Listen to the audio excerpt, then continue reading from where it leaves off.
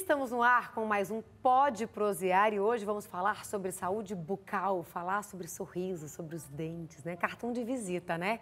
É sempre bom a gente estar sorrindo, claro.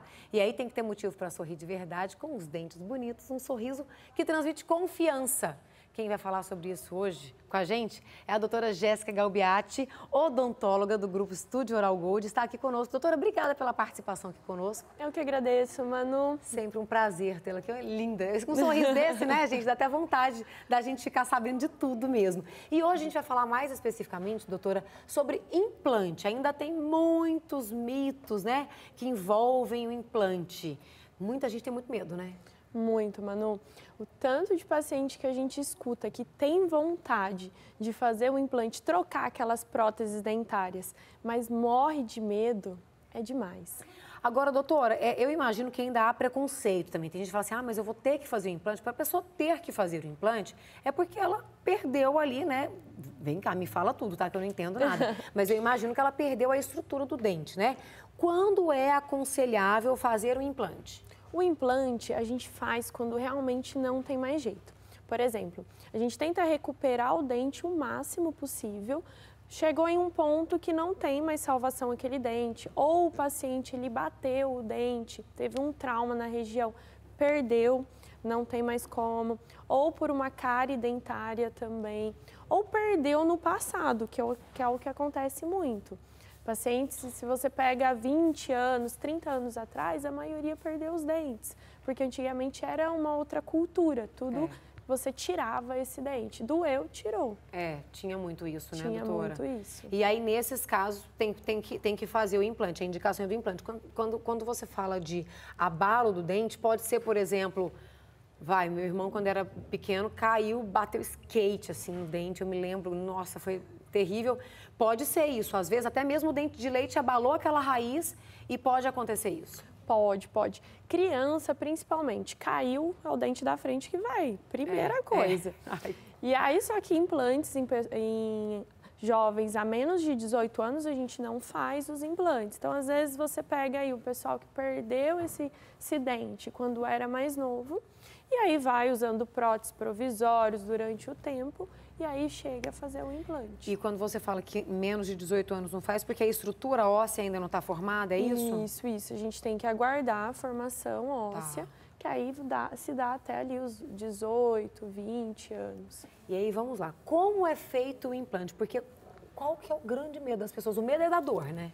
O medo é da dor. A maioria morre de medo da dor. Vou ter dor na hora da cirurgia, nós, o pós-operatório deve ser horrível. E não, gente, o implante é mais tranquilo do que uma extração de dente.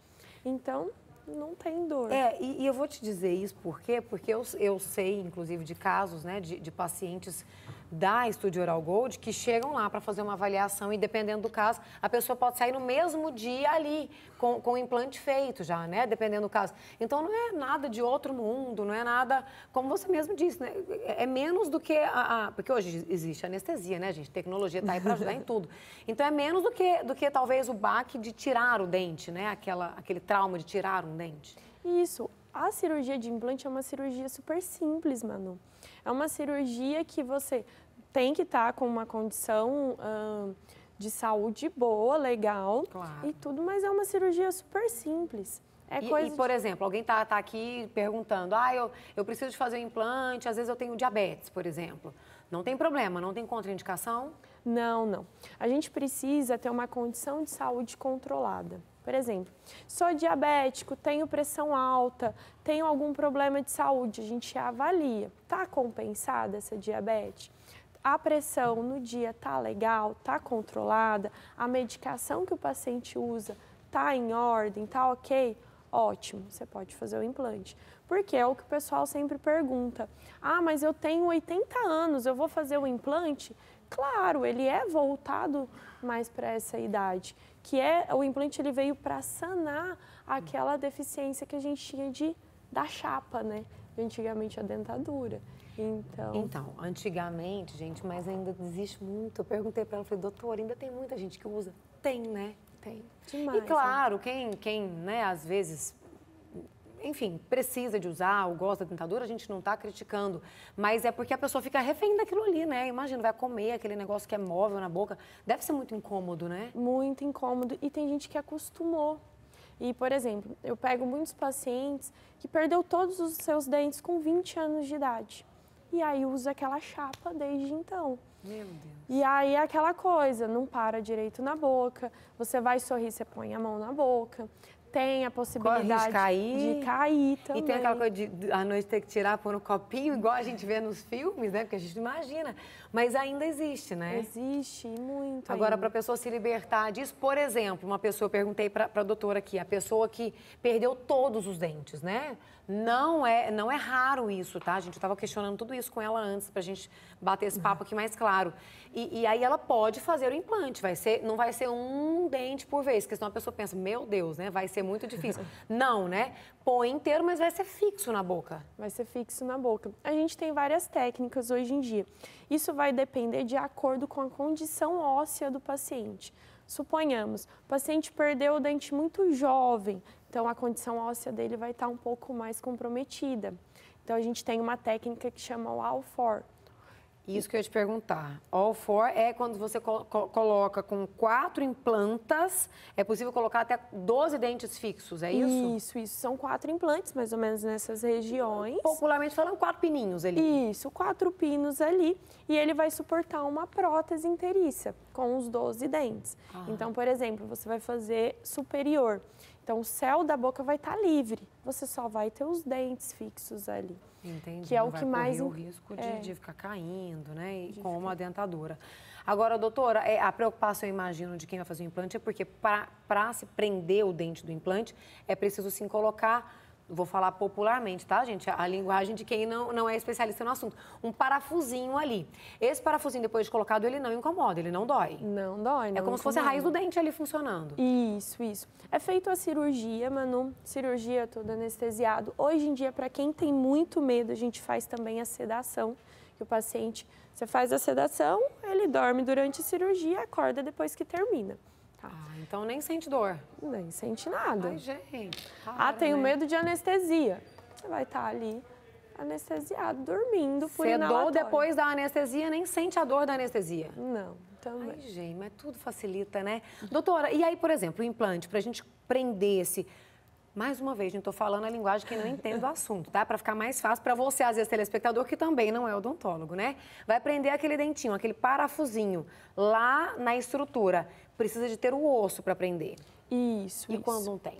Quando não tem, a gente faz os enxertos ósseos também. Ah, tá. Então, então tem a solução também. Tem a solução também. Hoje em dia, para você falar não dá, é... não tem. Toda forma a gente consegue estar tá fazendo. O paciente está nos assistindo aqui agora e está pensando assim, nossa, eu sempre quis fazer implante, sempre precisei, sou refém às vezes, né, da, da prótese ali, da, enfim, da, da dentadura, né? Nunca tive coragem, mas agora eu acho que eu criei coragem. O que, que precisa ser avaliado para o paciente poder fazer o implante? Primeira coisa, o paciente chega na clínica, a gente faz uma radiografia panorâmica. Uhum. Ali a gente vai avaliar o quanto de osso que a gente tem. Dependendo do caso, só com a panorâmica já tá ok o exame, a gente já consegue fazer. Tá. Alguns casos a gente precisa de uma tomografia, tá. que é para realmente avaliar. Você olha na panorâmica, não tem muito osso ali, a gente vai para uma, uma tomografia. Aí avalia corretamente se tem estrutura óssea ou não. Ah, Jéssica, não tenho estrutura óssea. Aí a gente vai para a parte do, do enxerto ósseo. Alguns casos dá para fazer o enxerto ósseo na mesma sessão os implantes. Outros casos a gente precisa fazer o enxerto ósseo, aguardar um período e aí fazer os implantes. É para não ser muito traumático, né? Mas às isso. vezes pode fazer então na mesma, na mesma. Hum. Coloca o enxerto e já faz o implante. Isso, isso. Outros casos também, Manu, o paciente tem estrutura óssea, tá legal. A gente faz a protocolo imediata, de carga imediata. O que, que, que, é, é isso? É.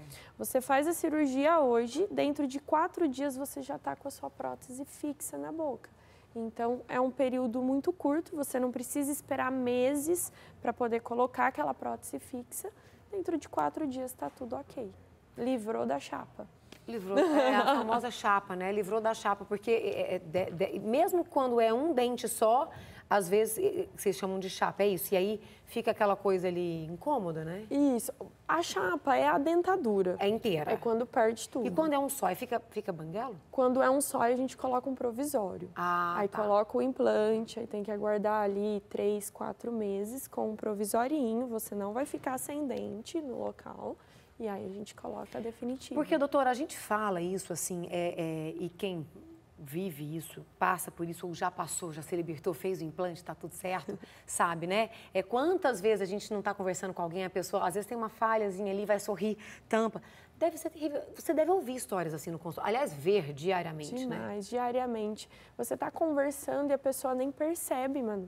Ela coloca, que nem A você falou, boca. a mão na boca. É. Aí você fala, epa. Então, isso dificulta a autoestima, o jeito da pessoa se relacionar no trabalho, com amigos, em tudo. É, e a, a pessoa às vezes deixa de sorrir, gente. Eu digo isso porque eu já conversei com muitas pessoas, né? Sempre no dia a dia. Provavelmente você que está nos acompanhando aí também já, né? Conversou com alguém, a pessoa sorri, fecha a boca assim, faz aquela. Ou, ou vira para o lado, não é? É por isso que às vezes tem uma falhazinha ali, mesmo que seja lá atrás, na hora que sorri, mostra.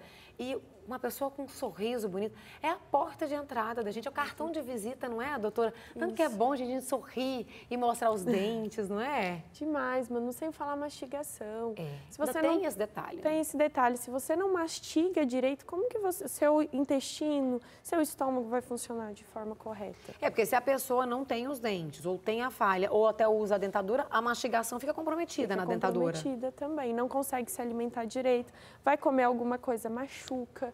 Não engole pedaços inteiros. Então isso é um problema. Ah, não, gente, pelo amor de Deus, isso deve, deve ser uma tormenta isso, né? A pessoa tem que se libertar. E o implante está aí para isso, né? E, aliás, doutora, a tecnologia é trazendo, né, métodos mais indolores, mais rápidos, né? Porque eu imagino que fazer o implante antigamente demorava muito tempo, hoje é muito mais rápido. Hoje é muito mais rápido e é simples. Valores são valores que dá para Mais acessíveis, né? Porque antigamente devia ser muito caro, né? Antigamente era inacessível para muitos pacientes, hoje em dia não. A gente tem aí valores bem acessíveis para o paciente. É um procedimento indolor, não precisa ter aquele medo todo. A Então, é técnica evoluiu muito, né, Evoluiu doutora? muito. Que bom. E a- mas a faixa etária principal hoje que ainda se faz implante é o que ali acima dos A gente 50, pega 60? Isso, de 45 para cima até, mano. De 45, 50, 60, é muitos. Mas a gente tem muitos jovens ainda também fazendo. E normalmente no caso dos jovens é, é mais por esse abalo que às vezes aconteceu, algum acidente, alguma coisa assim. Sim, também, e muito motivos de cárie também. Então vai fazer um alerta deixando- para as pessoas também, né, doutora, da importância da escovação e da importância do fio dental, que muita gente esquece, né? Aham. Porque tu- quando não é um abalo, né, é, é um acidente, alguma coisa, o que provoca o- o- o- é- é a perda do dente é isso. É às vezes a falta de cuidado com o dentinho ali, né? Isso, e aí por medo o paciente vai deixando. Tem aquele medo do dentista, do motorzinho, aquele pavor, e vai deixando. E ali vai piorando, vai piorando. Então, algo que às vezes você conseguiria com uma restauração, com um tratamento de canal, vai deixando. Tem que Às vezes uma simples cárie, né, doutora? Deu uma dorzinha, ah, não, não é nada, não.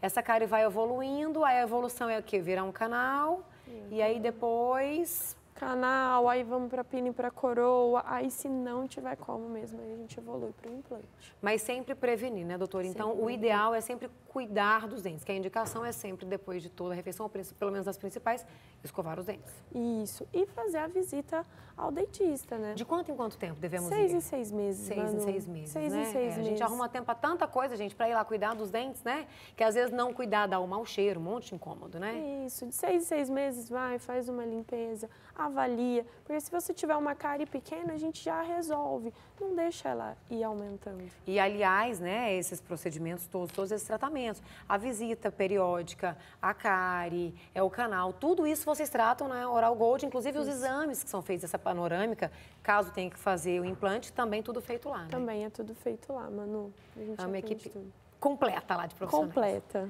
Que ótimo, doutora. Muito obrigada pela participação, pelo nosso bate-papo. Vocês vão vendo que eu vou entrar em outros assuntos, porque interessa a todos nós, né? Afinal de contas, a escovação e o sorriso faz parte da vida de todos nós.